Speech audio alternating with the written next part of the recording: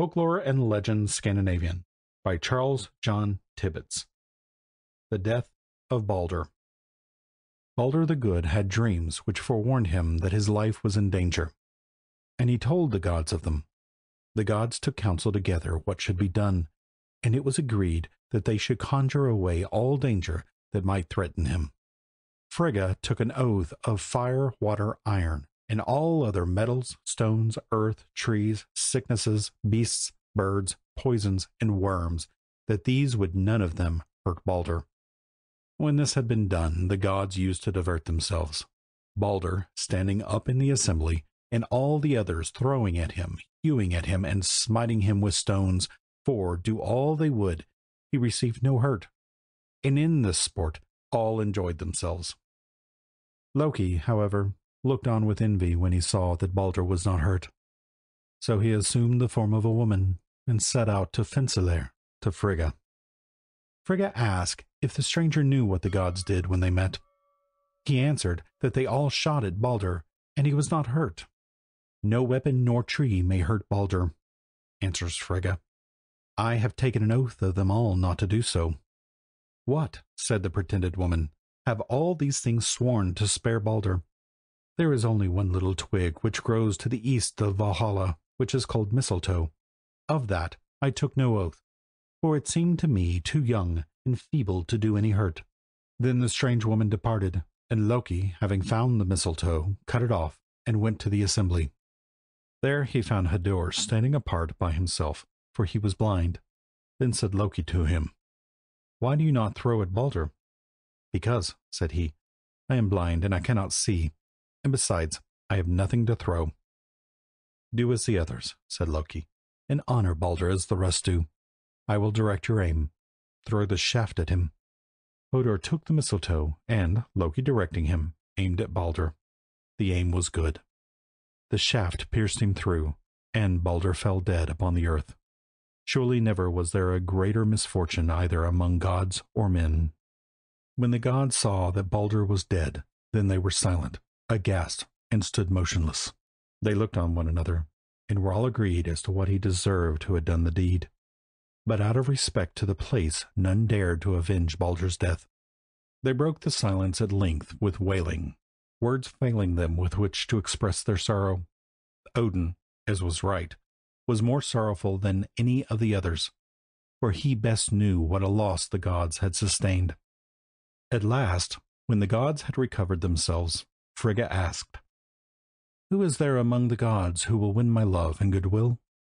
That shall he have if he will ride to Hel and seek Baldur, and offer Hela a reward if she will let Baldur come home to Asgard. Hermod the Nimble, Odin's lad, said he would make the journey. So he mounted Odin's horse, Sleipnir, and went his way. The gods took Baldur's body down to the seashore, where stood Ringhorn, Baldur's vessel, the biggest in the world. When the gods tried to launch it into the water, in order to make on it a funeral fire for Baldur, the ship would not stir. Then they dispatched one to Jotunheim for the sorceress called Hyrroken, who came riding on a wolf with twisted serpents by way of reins. Odin called for four berserker to hold the horse, but they could not secure it till they had thrown it to the ground. Then Hyrroken went to the stem of the ship and set it afloat with a single touch, the vessel going so fast that fire sprang from the rollers, and the earth trembled. Then Thor was so angry that he took his hammer and wanted to cast it at the woman's head. But the gods pleaded for her and appeased him. The body of Baldur being placed on the ship, Nanna, the daughter of Nep, Baldur's wife, seeing it, died of a broken heart. So she was borne to the pile and thrown into the fire. Thor stood up and consecrated the pile with Mjolnir. A little dwarf called Litur ran before his feet, and Thor gave him a push and threw him into the fire, and he was burnt. Many kinds of people came to this ceremony. With Odin came Frigga, and the Valkyr with his ravens. Frey drove in a car drawn by the boar, Gullinbursti or Slidrugtanni. Heimdall rode his horse Gulltopp, and Freya drove her cats. There were also many of the forest giants and mountain giants there. On the pile Odin laid the gold ring called Draupnir. giving it the property that every ninth night it produces eight rings of equal weight. In the same pile was also consumed Baldur's horse. For nine nights and days Hermod rode through the deep valleys, so dark that he could see nothing. Then he came to the river Gjöll, which he crossed by the bridge, which was covered with shining gold. The maid who keeps the bridge is called Modgudur. She asked Hermod his name and family, and told him that on the former day there had ridden over the bridge five bands of dead men. They did not make my bridge ring as you do, and you do not have the hue of the dead. Why ride you thus on the way to Hel? I ride to Hel to find Baldur. Have you seen him on his way to this place? Baldur, answered she, has passed over the bridge, but the way to Hel is below to the north. Hermod rode till he came to the entrance of Hel, which was guarded by a grate. He dismounted, looked at the girths of his saddle, mounted, and clapping his spurs into the horse, cleared the grate easily. Then he rode on to the hall and, dismounting, entered it. There he saw his brother, Baldur, seated in the first place, and there Hermod stopped for the night. In the morning he saw Hela, and begged her to let Baldur ride home with him, telling her how much the gods had sorrowed over his death. Hela told him she would test whether it were true that Baldur was so much loved. If, said she, all things weep for him, then he shall return to the gods. But if any speak against him or refuse to weep, then he shall remain in hell.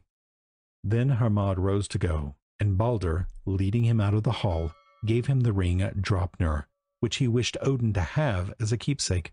Nanna also sent Frigga a present, and a ring to Fulla. Hermod rode back, and coming to Asgard, related all he had seen and heard. Then the gods sent messengers all over the world seeking to get Baldur brought back again by weeping. All wept, men and living things, earth, stones, trees, and metals, all weeping as they do when they are subjected to heat after frost. Then the messengers came back again, thinking they had done their errand well. On their way, they had came to a cave wherein sat a hag named Thökt. The messengers prayed her to assist in weeping Baldur out of hell. I will weep dry tears, answered she, over Baldur's pyre. What gain I by son of man, be he live or dead? Let Hela hold what she has. It was thought that this must have been Loki, Laufey's son, he who has ever wrought such harm to the gods.